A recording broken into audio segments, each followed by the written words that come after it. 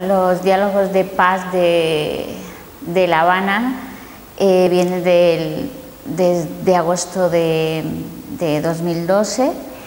Eh, tenemos, eh, están como garantes Noruega y Cuba.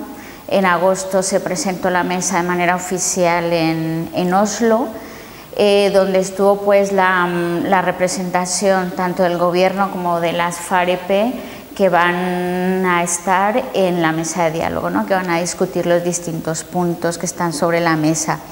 Eh, además de, Noruega y Cuba como garantes, pues tiene a, mm, tiene a Venezuela eh, y a Chile como, como acompañantes de este, de, este proceso, de este proceso de diálogo. Eh, en Colombia es un conflicto que está enquistado y que ha quedado claro que el poder militar, ninguna de las dos partes la puede ganar y por tanto se está siempre abocado a un diálogo, ¿no? Eh, porque también es una petición del movimiento social y popular que pensamos que la salida al conflicto interno colombiano tiene que ser dialogada y tiene que ser política. Y también se tiene que incluir que no solo es un conflicto armado, que el, conflicto de Colombia trae unas raíces culturales, trae unas raíces económicas, trae unas raíces sociales y está el, factor armado. ¿no? Entonces, cuando el gobierno dice que las guerrillas dejen de dar tiros en este momento, con las FARC específicamente, pues dices, pues no, porque es que el conflicto también es social y también es político y también es económico y está generado por unas causas de desigualdad extrema que han originado que este mm, flagelo continúe y que hasta el día de hoy, después de más de 60 años, no, no hayamos podido remediarlo. Hay cinco puntos sobre la mesa a este proceso, en este proceso que se llama Acuerdo General para la Terminación del Conflicto y la construcción de, de una paz estable y duradera. Como no puede ser de otra manera, el tema agrario tiene que estar por delante. Eh, porque la tenencia de la tierra continúa siendo en Colombia la principal causa del conflicto interno.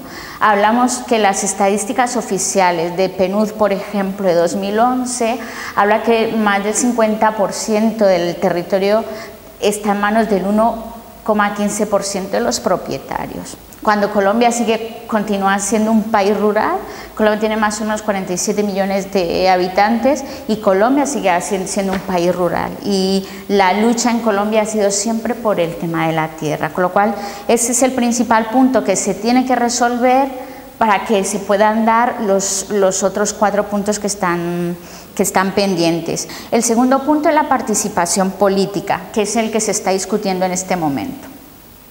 Entonces, cuando habla de participación política, hablan de eh, las FARC pueden hacer llegar al poder a través de la vía democrática, pueden hacer política y poner sus proyectos sobre la mesa a través de la vía democrática.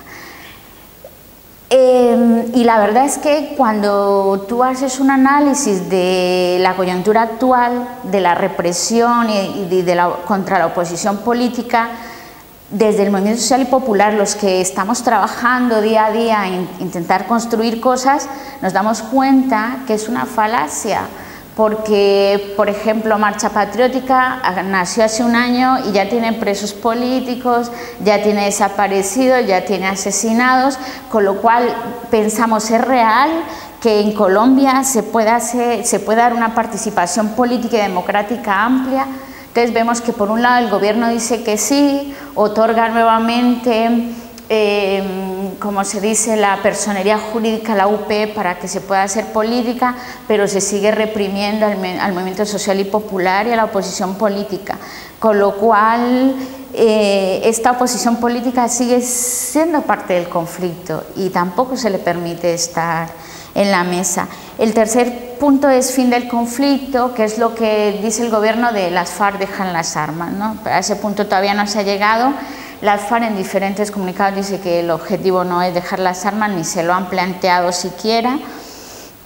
Eh, con lo cual ese sería el punto que viniera después del tema de la participación política. El cuarto punto es la solución al problema de drogas ilícitas, que es el tema de la erradicación de cultivos ilícitos, para uso ilícito, como es la siembra de la hoja de coca, principal sustento para los campesinos colombianos que no les han dejado otro medio de subsistencia porque se les ha negado todo tipo de desarrollo agrario.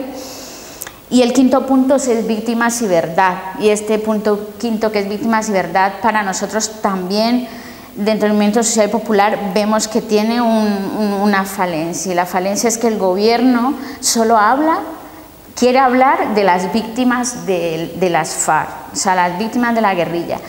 Y si hacemos un análisis a los informes de todas las organizaciones de derechos humanos, todas coinciden en que el 94% de la violación a derechos humanos en Colombia las ha cometido el Estado. Y las ha cometido por omisión y las ha cometido por acción, porque además hay hay evidencias y hay denuncias claras de que, el paramilitarismo es una figura del, que el Estado ha utilizado para reprimir a la oposición política. Este proceso de paz se da en un momento en que el gobierno sabe que tampoco le es fácil ganar la guerra a través de las armas. Las FARC también lo tienen claro, el pueblo está organizado y esto es un punto añadido que no ha existido en, el, resto de procesos de paz y es que hay organizaciones muy fuertes presionando, o sea, está la Minga indígena, está el Congreso de los Pueblos, está Marcha Patriótica, que en este momento es la, la mayor aglomeración de movimiento social y popular, y donde están diciendo que somos parte del conflicto y tenemos que hacer parte y ser juez y parte también del conflicto porque este conflicto nos está afectando a nosotros. No podemos ser ni fatalistas, pero tampoco optimistas. Yo creo que frente al proceso de paz tenemos que ser responsables y tenemos que ser responsables pensando en que es una apuesta que se hace muy positiva en la que todos y todas los que queramos un cambio para Colombia tenemos que apostar porque ese proceso salga adelante, porque se fortalezca y porque también están presentes otras organizaciones como el ELN, como lo que la fracción que queda del EPL, porque el movimiento social y popular también está en la mesa discutiendo el modelo de país que, quiere y que necesita Colombia para que evidentemente sea una paz integral, porque nos tiene que, igual que una constituyente, integrar a todas, no, no puede dejar a nadie por fuera. Y tampoco eh, podemos pensar que, es que la paz, como decía el gobierno, la vamos a hacer en un año, en un año y que es una paz express. Disculpen, pero es que son más de 60 años de conflicto bélico. O sea, hay conflicto social y armado.